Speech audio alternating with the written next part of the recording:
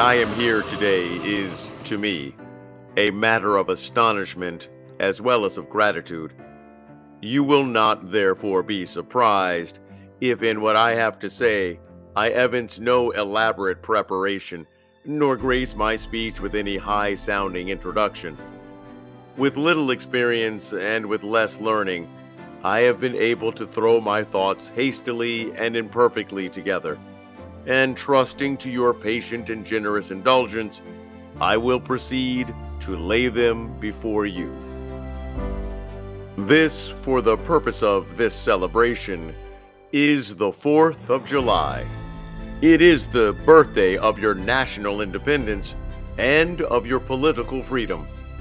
It carries your minds back to the day and to the act of your great deliverance and to the signs and to the wonders associated with that act and that day.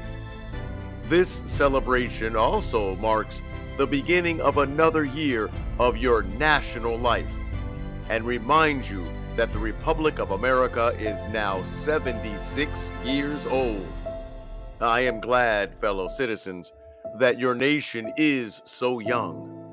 76 years, though a good old age for a man, is but a mere speck in the life of a nation.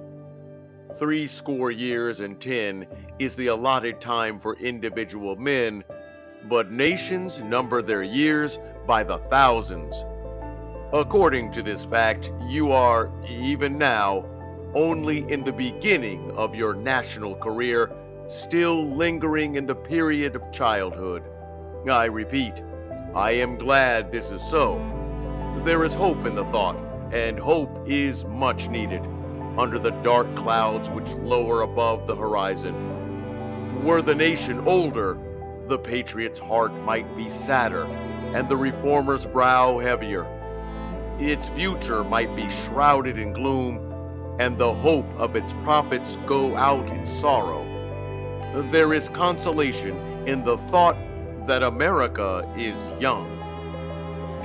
On the 2nd of July, 1776, the old Continental Congress, to the dismay of the lovers of ease and the worshippers of property, clothed that dreadful idea with all the authority of national sanction.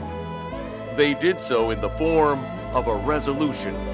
It may refresh your minds and help my story if I read it. Resolved that these united colonies are and of right ought to be free and independent states, that they are absolved from all allegiance to the British Crown, and that all political connection between them and the state of Great Britain is, and ought to be, dissolved. Citizens, your fathers made good on that resolution. They succeeded, and today you reap the fruits of their successes. The freedom gained is yours, and you, therefore, may properly celebrate this anniversary. The 4th of July is the first great fact in your nation's history, the very ring bolt in the chain of your yet undeveloped destiny. Pride and patriotism, and not less than gratitude, prompt you to celebrate and hold it in perpetual remembrance. I have said that the Declaration of Independence is the ring bolt to the chain of your nation's destiny, so indeed, I regard it. The coming into being of a nation in any circumstances is an interesting event. The whole scene, as I look back to it, was simple, dignified, and sublime. The population of the country at the time stood at the insignificant number of 3 million. The country was poor in the munitions of war, the population was weak and scattered, and the country a wilderness unsubdued. Under these and innumerable other disadvantages, your fathers declared for liberty and independence and triumphed. Fellow citizens, I am not wanting in respect for the fathers of this republic the signers of the Declaration of Independence were brave men. They were great men too, great enough to give fame to a great age. It does not often happen to a nation to rise at one time such a number of truly great men. They were statesmen, patriots, and heroes, and for the good they did and the principles they contended for, I will unite with you to honor their memory. Pardon me, allow me to ask, why am I called upon to speak here today? What have I, or those I represent, to do with your national independence? Are the great principles of political freedom and of natural justice embodied in that Declaration of Independence extended to us? I say it with a sad sense of disparity between us. I am not included within the pale of this glorious anniversary. Your high independence only reveals the immeasurable distance between us. The blessings in which you this day rejoice are not enjoyed in common. The rich inheritance of justice, liberty, prosperity, and independence bequeathed by your fathers is shared by you, not by me. The sunlight that brought life and healing to you has brought stripes from the whip and death to me. This 4th of July is yours, not mine. You may rejoice, I must mourn. To drag a man in chains into the grand illuminated temple of liberty and call upon him to join you in joyous anthems were inhuman mockery and sacrilegious irony. Do you mean, citizens, to mock me by asking me to speak today? Above your national tumultuous joy, I hear the mournful wail of millions whose chains, heavy and grievous yesterday, are today rendered more intolerable by the jubilee shouts that reach them. To forget them, to pass lightly over their wrongs, and to chime in with the popular theme would be treason most scandalous and shocking, and would make me a stain before God and the world. My subject, then, fellow citizens, is American slavery. I shall see this day from the slave's point of view. I do not hesitate to declare with all my soul that the character and conduct of this nation never looked blacker to me than on this 4th of July. Whether we turn to the declarations of the past or to the professions of the present, the conduct of the nation seems equally hideous and revolting. America is false to the past, false to the present, and solemnly binds herself to be false to the future.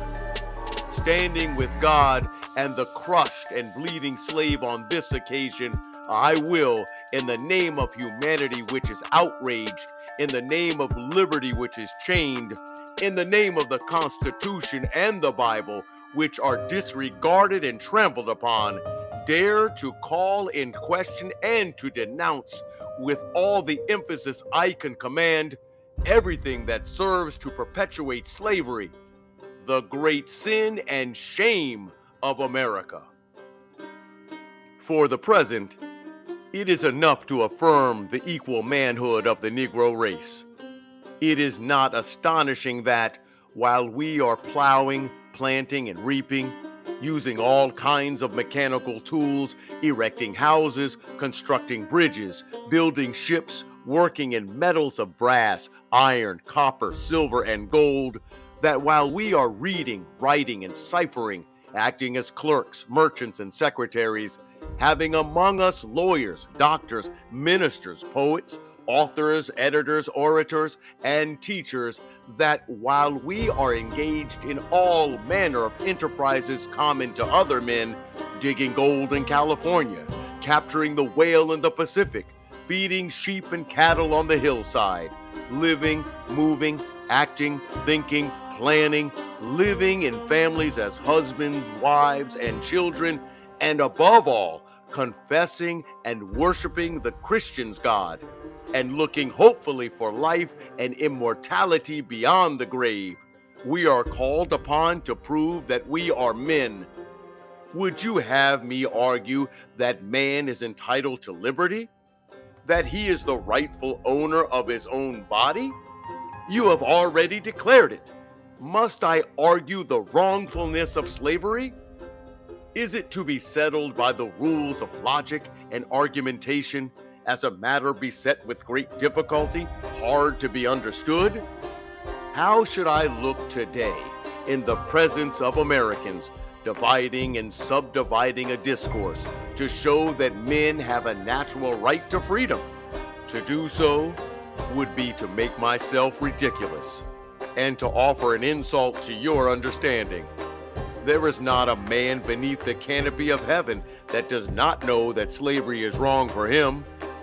What am I to argue that it is wrong to make men brutes, to rob them of their liberty, to work them without wages, to keep them ignorant in their relations to their fellow men, to beat them with sticks, to flay their flesh with the lash, to load their limbs with irons, to hunt them with dogs, to sell them at auction, to sunder their families, to knock out their teeth, to bum their flesh, to starve them into obedience and submission to their masters?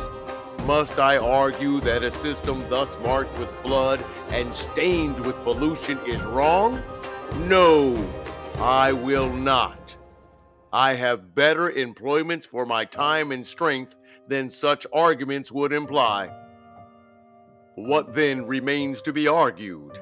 Is it that slavery is not divine? That God did not establish it? That our doctors of divinity are mistaken? There is blasphemy in the thought.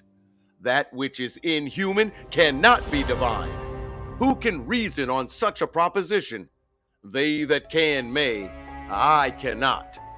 The time for such an argument is past.